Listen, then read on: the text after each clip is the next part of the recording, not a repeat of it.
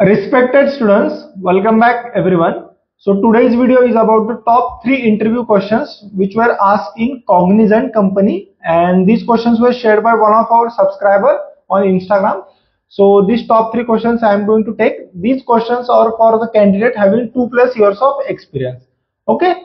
So each and every question detail wise I am going to explain but before starting the video, make sure if you are new on our channel to subscribe the channel and press bell icon for all upcoming videos and follow us on social media, social media, especially Instagram. So the first question was like when you are working on a Power BI project or report, how you make sure whether the data is accurate, which is shown in your Power BI report. Okay, so there are total three to four ways properly to check whether the data is accurate, uh, which is shown in that report so the first way is uh, like let's say you have created one KPI which is showing total sales as 10,000 rupees. So whatever your data source is there, whether it is SQL or Snowflake or Azure Databricks or any other, you write a query there. Okay, in your data source, you write a query like select sum of that particular column from table. And if your SQL is also showing 10,000 and if your Power BI report is also showing 10,000, so you have validated that number with the source and then it is 100% correct if the uh, at the both the way it is showing same. This I have shown, I have told you for the basic KPI. Let's say if little bit advanced KPI is there. So just uh, left join we are applying, left join, right join, whatever as per the condition and their query we are writing.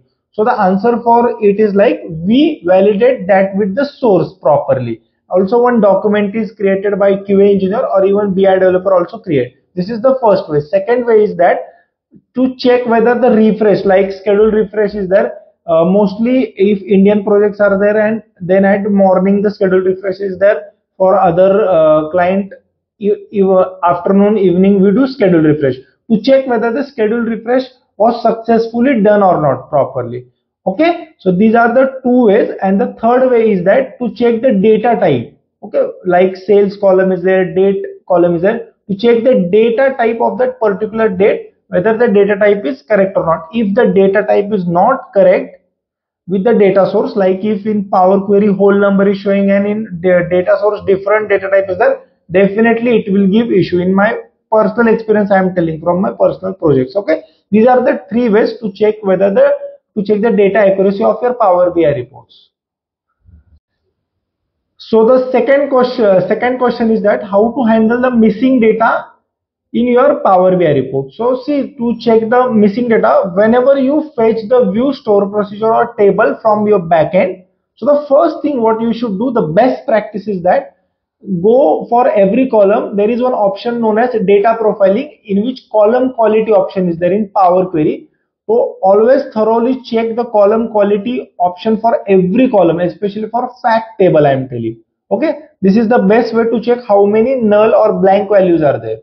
First thing. Second thing is even with DAX like uh, count blank is there, collex is there, if is there, you can check properly the uh, DAX for uh, whether the blank it is showing for not. Okay, and the third thing also the third thing is that you can check whether the uh, blank is showing due to some conditions like uh, whether the join was applied or not. You can check and some of the options are there like fill up fill down you can use. And the most important is that the blank you can replace with the zero also.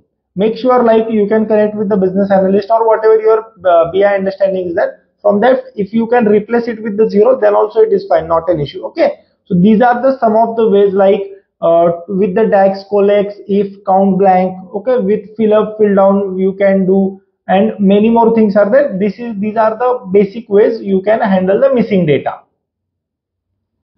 The third question which was asked to that candidate was that how to uh, check whether if unusual trends are showing in your Power BI report. Okay, like last week you were using a Power BI report which was showing normal all the numbers and now unusual trends or any big number or any small number is showing. So how to check that or how you will handle that situation.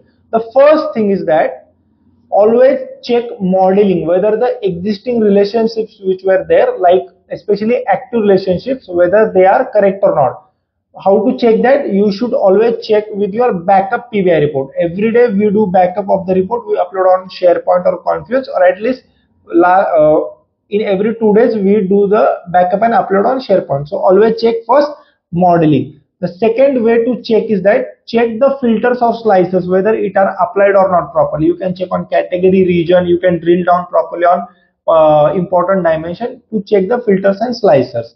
Okay. The third thing is you should always go to Power Query and some of the few ETL steps which are there like joins, append and unpivot or pivot that you have to check properly whether those are correct or not. Okay. So these are the three, four ways and the DAX which was written like uh, whether the DAX or any other developer have changed it or not or due to data type change also uh, few DAX automatically changes due to that data type especially of in the date and time and time intelligence DAX function. So these are the three four ways to check like whenever the unusual trends are showing in your Power BI report how to handle those. Okay. So these were the three questions like unusual trends, how to handle missing data and uh, how how to make sure whether your data is accurate or not. So these were the three questions. I have told you thoroughly properly. Make sure uh, whether these questions are asked in the uh, interview make sure you are giving it properly. Okay? So thanks for watching till end and if you are having any doubt make sure to comment that. I will reply within one hour to you. Thank you everyone